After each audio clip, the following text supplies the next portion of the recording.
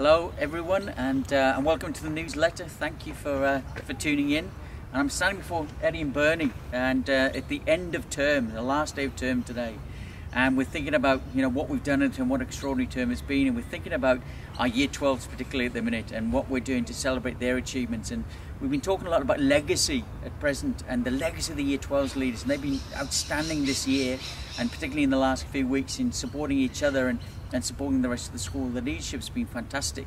You know, Luca Cesarini, the, the college captain, talks a lot about leaving no one behind, and they've certainly kept together as a group and kept the score going as a, as a whole. I want to thank them, and we're going to do our part in recognising what they've done, and that's why I'm talking to not only our, our current school community but our old collegians, because on October the 16th we're going to celebrate and have a valedictory. We're going to start with mass, beautiful at, at five o'clock, and then about five thirty we're going to break from there and have dinner at six. And I'm going to say a few well-chosen words, hopefully, and celebrate at that time what I'd love for the whole community at about six o'clock on a Friday night, October the 16th, to raise a glass to this year's Year 12 and celebrate their achievements and say thank them for the extraordinary work they've done.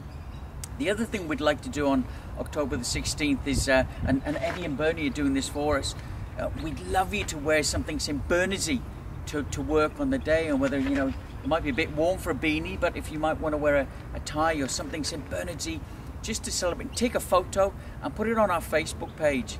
Uh, we'll have something up in the next few days that you can write a message to our Year 12s and just congratulate them and, and celebrate with them as they lead into their final few days. So thank you for being involved. Thank you for getting around the Year 12 boys and celebrating, making sure that none of them are left behind.